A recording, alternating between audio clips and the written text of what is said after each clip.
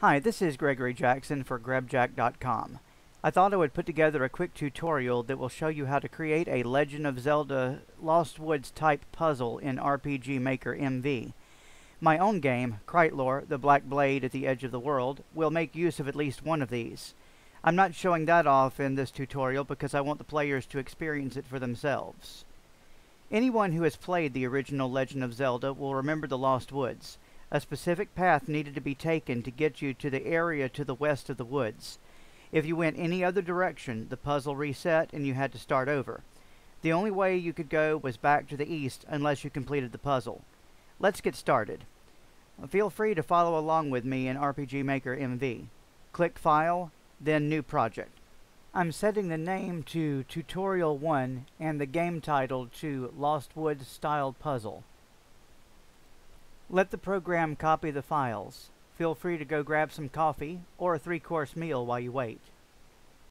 Now that the files are copied, we can get started. We're not going to worry about changing the map size or any fancy layout editing. In fact, before we do anything with the maps, we need to set a couple of things up. Click the button with the gear symbol on it to open the database. Select Items from the menu on the left. You should see a list of four items, Potion, Magic Water, Dispel Herb, and Stimulant. They are numbered 0001 through 0004 respectively. Click the Change Maximum button below this list. Set the maximum to 5. Click OK. You should now see a blank item numbered 0005. Left click it to select it. Enter Ring of Passage into the name field. As you type, you will notice that it fills in the name on the numbered list as well. Double-click the box next to the word Icon. Find and select the icon that looks like a ring, then click OK. Enter something in the description field. I entered, this ring radiates warmth, but is cool to the touch. Set item type to key item. Set consumable to no. Set scope to none. Now you can click OK. You're probably wondering why we just created a ring of passage. After we complete the pathway puzzle, I want us to have a way to avoid having to go through it again. We're going to put the ring in a chest which will be on the screen past the puzzle. It's a non-essential item really, but it makes a good bonus for exploring whatever areas are barred by the puzzle. Now let's set up the screen immediately preceding the puzzle screen. You can design the screen however you want, but I've set it up to have just one exit to the right, or east, so make sure you at least have that. Now let's create the map where we'll put the chest with the ring of passage in it. As you can see, I've made mine look like the exact opposite of the starting map. Now I'm creating two more maps, one with only one exit to the south, and one with only exit to the north. And now we create the puzzle map. You can create its layout however you want, so long as it has exits in all four directions. I'm keeping mine very simple. Let's go ahead and place that chest with the ring of passage inside. Go to the map with only one exit to the west. Switch to event mode. Right-click somewhere in the middle and mouse over Quick Event Creation and select Treasure. Select Item, set it to Ring of Passage, then click OK. A treasure chest now appears where you right-clicked. Okay, we've got all the maps we need. We've got our reward staged. Now it's time to start setting up the puzzle. Go to the first map, the one with only one exit to the east. Right-click the eastmost square where the exit will be, mouse over Quick Event Creation, and select Transfer. Click the button below Location. Select Map 005 and left-click one square in from its western exit edge. Then click OK. Now click the button under Direction, select Right, and click OK. The exit from the starting map will now take the player to the puzzle map. Repeat this process for maps 002 through 004 so they all link to map 005 correctly. Now on map 5, make a transfer event leading back to map 1. This will be the only regular exit from map 5. The rest will be tied to the puzzle. If you want to take a little breather here, pause the video. If you're ready to go, then great. Let's set up the puzzle. First, we want to decide which paths the player must take to solve it. I'm going to use south, east, north, and then northeast or south. So that means that the puzzle will have five stages to it. Stage 0, the puzzle has not started. The player is on the puzzle map but has not taken the first correct path. Stage 1, the player has taken the first correct path.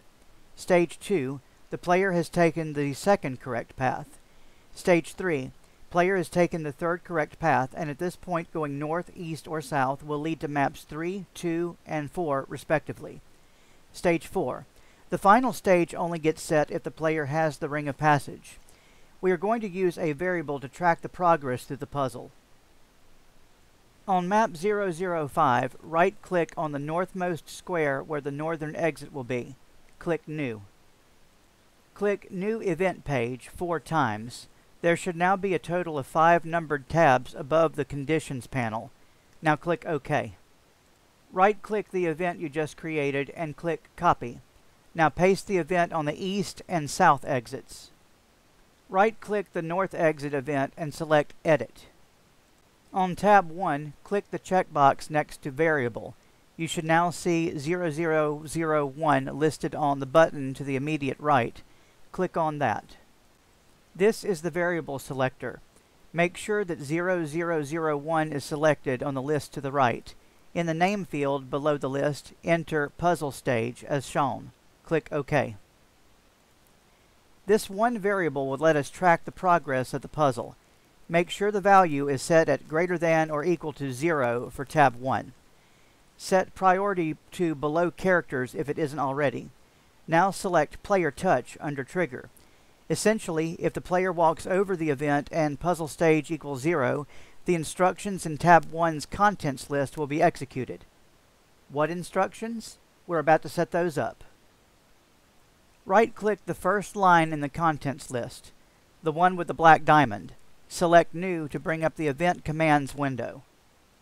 Remember, we're working with the northern exit event now. The path is south, east, north, and then northeast or south. North is not the correct path to take for advancing to stage 1, so we want to make sure the puzzle stays at stage 0.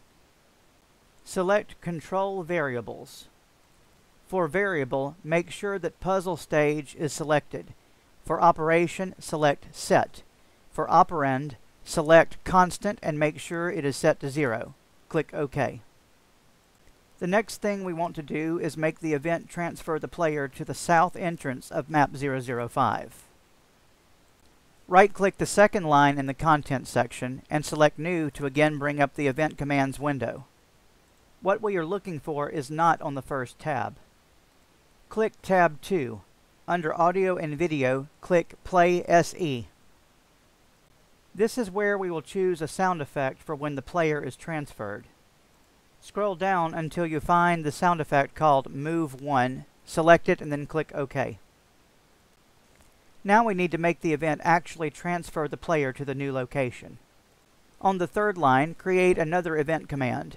This one is also found on tab 2. It's actually the first one, listed as Transfer Player. Make sure that Direct Designation is selected and click the button below it.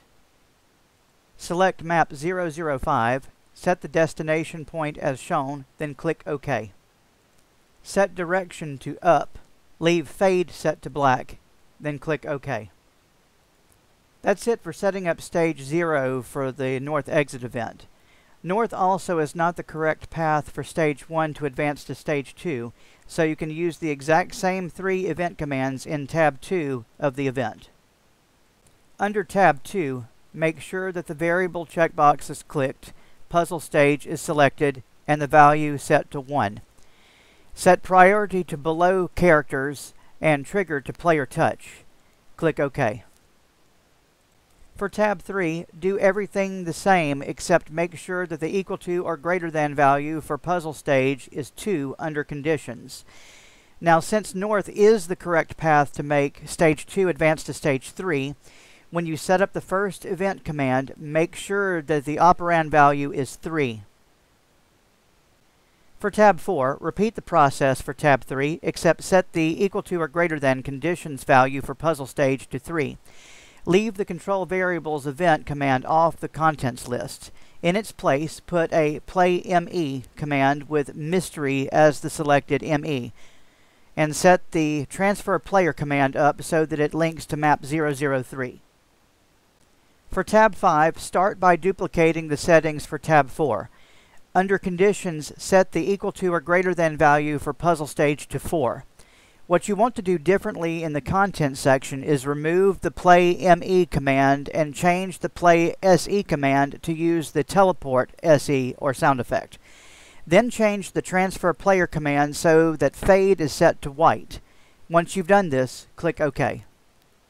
Using the north exit event as a template, taking into account when to advance the puzzle to the next stage, which maps to transfer the player to, and what direction the player needs to be facing when transferred, set up the east exit event and the south exit event. Once that is done, switch to map 002. This step is mission critical. It sets up how the game determines whether or not the player needs to go through the puzzle or if it can be bypassed with the Ring of Passage. Right-click on the transfer event and then select Edit. We're going to modify this event so it will no longer be just a regular transfer event. Under Contents, right-click the Play SE command and select New. On tab 1, under Flow Control, click Conditional Branch. We are going to be checking to see if the player has the Ring of Passage. So click tab 4, select Item. Set it to Ring of Passage, Click the checkbox next to Create Else branch, then click OK. We've set the event to check to see whether or not the player has the ring. Now we need to set up what happens if he does or does not have it.